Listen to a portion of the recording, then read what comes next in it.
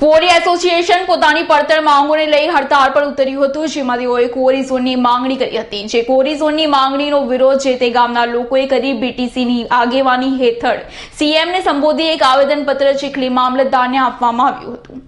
નવસારી જિલ્લા ક્વોરી એસોસિએશને થોડા દિવસો અગાઉ પોતાની પડતર માંગણીને લઈ હડતાળ પર ઉતર્યું હતું. જે માંગણીઓમાં એક માંગણી ક્વોરી ઝોન જાહેર કરવાની હતી. જે માંગણી સામે ચીખલી તાલુકાના આલીપુર, દેગામ, ચાસા, રેઠવાણિયા માનેકપુર અને બામણવેલ ગામના લોકોએ પોતાના ગામનું નિકંદન થઈ જશે તેમ જણાવી નવસારી જિલ્લા ભિલિસ્થાન ટાઈગર સેનાની આગેવાની હેઠળ એક આવેદન ચીખલી મામલતદારને આપવામાં આવ્યું હતું. જેમાં ભારે વરસાદ હોવા છતાં પણ લોકો મોટી સંખ્યામાં ઉપસ્થિત રહ્યા હતા. તો કોઈ અનિચ્છીય બનાવ ન બને તે માટે પોલીસ પણ પૂરતો બંદોબસ્ત જાળવ્યો હતો. સાથે આવેદનપત્રમાં જણાવ્યા અનુસાર, જો આ અંગે યોગ્ય કાર્યવાહી કરવામાં ન આવે, તો લોકો રસ્તા ઉપર ઉતરી આવી કાયદો હાથમાં લઈ વિરોધ નોંધાવશે તેમ તેઓએ જણાવ્યું હતું. કોરી એસોસિએશન દ્વારા જે કોરી ઝોનની માંગ કરવામાં આવી રહી છે અત્યારે, તેના વિરોધમાં આજે અમે આવેદન બધા દેગામ, ચાસા, રેઠવાણિયા, માણેકપુર અને બામણવેલ રેઠવાણિયા થઈને ગામ લોકો થઈને આવેદનપત્ર આપી રહ્યા છે એના એમને કોરિઝોન વિરુદ્ધમાં.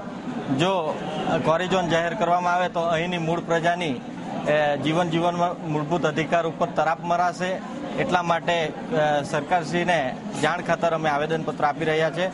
બીજું, આ કોરી કોરી વિસ્તારમાં બ્લાસ્ટિંગ, ડસ્ટથી ઘણા બધા નુકસાન થઈ રહ્યા છે. ઘણી કોરીઓમાં તોટે ડબલે જમીન છે, જે એને અને મંજૂરી વગર પણ ચાલે છે. ક્રશર પ્લાન્ટો અને ખાણ ખોદાઈ રહી છે.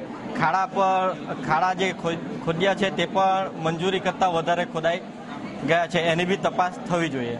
આજે પિલિસ્તાન ટાઈગર સેનાના પ્રમુખશ્રી તથા અન્ય આજુબાજુ જે કોરી ઝોન જે છે, એની આસપાસના લોકોએ રેલી કાઢીને આવેદનપત્ર આપેલું છે. એમાં કોરી એસોસિએશન તરફથી કોરી જાહેર કરવા માટે રાજ્ય સરકારને રજૂઆત કરવામાં આવી છે? તેના વિરુદ્ધમાં એક આવેદનપત્ર આપવામાં આવ્યું છે કે કોરીજન જાહેર કરવામાં નહીં આવે. તેમજ જે કોરી સિત્તેર જેટલી કોરીઓ ચાલે છે તે કોરીઓથી જે બ્લાસ્ટ બ્લાસ્ટિંગથી નુકસાન થાય છે તથા ડસ્ટથી જે રસ્તા પર જે લોકોને બાઇક ચાલકો કે અન્ય રાહદારીને નુકસાન થાય છે એના લીધે આ કોરીઓ બંધ થવું જોઈએ. એ રીતની રજૂઆત થયેલી છે. હવે આજે જે મને આવેદનપત્ર આપવામાં આવ્યું છે એનું એ આવેદનપત્ર હું મહેરબાન કલેક્ટર સાહેબને હું મોકલી આપીશ અને કલેક્ટર સાહેબ તરફથી જે કંઈ પગલાં લેવાના થશે તે ઉપલી કચેરી તરફથી કાર્યવાહી કરવાની થશે. મુકેશ રાજપૂતનો રિપોર્ટ ચીખલી